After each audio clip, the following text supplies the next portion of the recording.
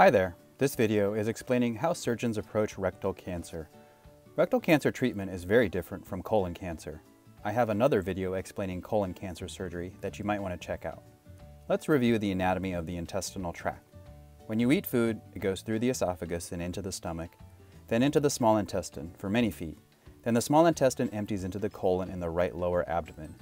The colon runs up the right side of the abdomen, across the top, then down the left side of the abdomen. The last bit of colon snakes around here and is called the sigmoid colon. The turn of the colon in the right upper abdomen by the liver is called the hepatic flexure, and the turn in the left upper abdomen near the spleen is called the splenic flexure. The abdominal organs are the colon and are contained within the sac of the abdomen called the peritoneal sac. The colon then exits the abdominal sac and enters the soft tissue of the pelvis. Once the colon leaves the sac of the abdominal organs, it becomes surrounded by fat and eventually the muscles that control the anal canal. Once it exits the peritoneal sac and is surrounded by fat, this is then considered rectum. The rectum is usually around 15 centimeters from the anal opening, although the distance varies on how tall a person is. The rectum is split into the upper rectum, which is 10 to 15 centimeters from the anal opening, the middle rectum, which is 5 to 10 centimeters from the anal opening, and the lower rectum, which is the lowest part just above the anus. Rectal cancer usually presents with blood in the stool that is bright red since it is so close to the anus. Sometimes people have a hard time passing the stool, or the stool is very thin because the lumen is narrow from the cancer. A doctor usually confirms the diagnosis of rectal cancer by doing a colonoscopy with a camera and taking a biopsy of the mass. Almost all rectal cancer is the type called adenocarcinoma. Once you are diagnosed with rectal cancer, we usually do a CT scan of the chest and the belly to be sure the cancer has not spread. Common places to spread are the lungs and the liver.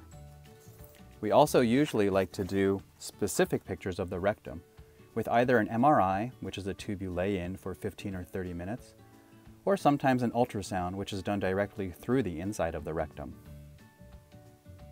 The surgery for rectal cancer is the most complicated of the colon and rectal cancer surgeries. This is because you have to remove the rectum from the fat and organs in the pelvis. The other organs, such as the uterus and vagina in women, or the bladder and the prostate in men, are very close to the rectum. The ureter tubes drain urine from the kidney to the bladder, and these are also close to the end of the colon and the rectum. For rectal cancer surgery, we want to remove at least 12 lymph nodes. Rectal cancer drains to lymph nodes all the way up by the sigmoid colon. The lymph nodes are intertwined with the blood vessels supplying the rectum and lower sigmoid colon. In order to remove the 12 lymph nodes, we usually have to remove about one foot or more of the end of the sigmoid and rectum, to at least 2 centimeters below the rectal cancer. In order for the remaining colon to reach into the pelvis to reconnect to the remaining rectum, we have to release attachments at the splenic flexure and the left descending colon. The colon is reattached to the stump of rectum, left with either a stapling device or by sewing by hand. This surgery is called a low anterior resection, or abbreviated as LAR. Lastly, if the patient has had radiation before surgery, this can make healing worse. So we usually do not trust the reconnection of the colon and the rectum, not to leak, as it is healing. Commonly, after radiation for rectal cancer, when we remove the rectum and reconnect the colon to the remaining stump of rectum, we recommend diverting stool away from the colon while it is healing. This is done with a loop of small bowel turned into an ostomy called a loop ileostomy. The package surgery is LAR with diverting ileostomy. The stool comes out of the end of the small intestine into a bag.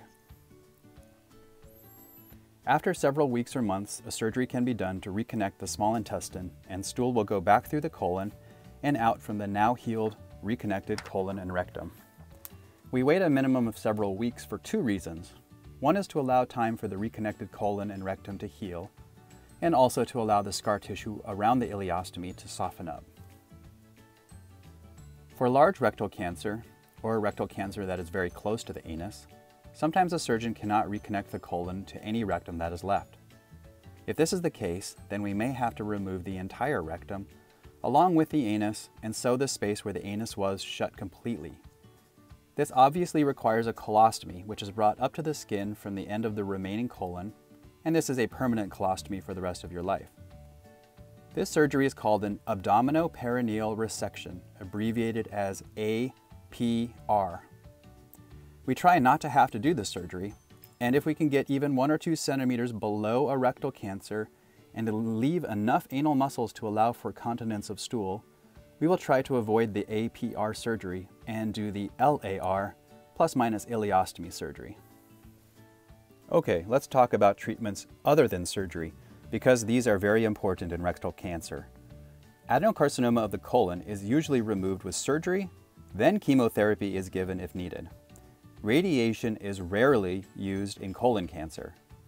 One major difference between colon and rectal cancer is that rectal cancer frequently uses radiation.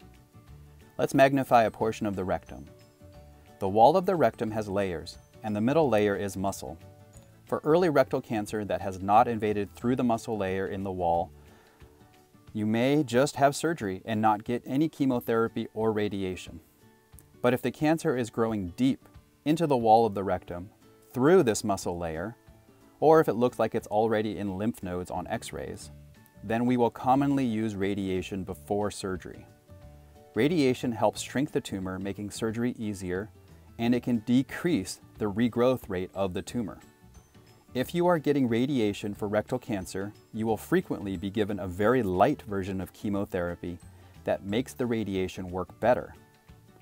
True chemotherapy, with multiple types of chemotherapy at once, is not given at the same time as radiation as this can cause too many side effects.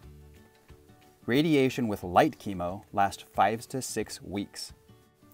After radiation, we typically do surgery next, then chemotherapy, if needed, comes last. So a quick recap. Early rectal cancer not growing through the muscle of the wall of the rectum gets surgery and no other treatment. Deeper rectal cancer growing through a muscle layer or into lymph nodes gets radiation with light chemotherapy, then surgery, then chemotherapy after. Sometimes if a cancer is very small and early and has not grown into the wall of the muscle of the rectum and is in the lower third of the rectum, we may be able to remove it from the anal opening just by taking out a part of the wall of the rectum and stitching it shut. This is called a transanal excision. This is only for very small, very early rectal cancer, it is sparingly used since we cannot check lymph nodes with this technique.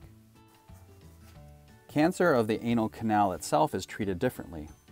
The lining of the colon and the rectum makes adenocarcinoma type of cancer.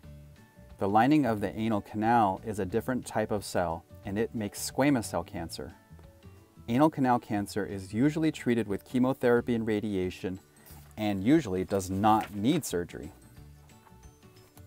I hope this helps.